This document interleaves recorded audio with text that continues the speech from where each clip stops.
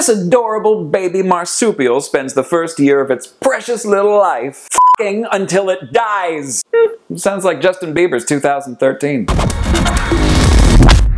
The black-tailed Antechinus is a relatively new addition to the marsupial world, and researchers are just now coming to terms with the little guy's leading cause of death, boners. The male of the species is so sexually competitive during mating season, they spend up to 14 hours a day screwing every female in sight. The extreme physical exertion taxes their little bodies so profoundly, they blow out their immune systems and end up in a bloody gangrenous heap, dead from exhaustion. But what a way to go, eh, fellas? I don't care how good it feels. Doing one thing continuously until you die is no party. That's why I limit my shoplifting to four or five items tops, and then it's home for a nice cup of chamomile.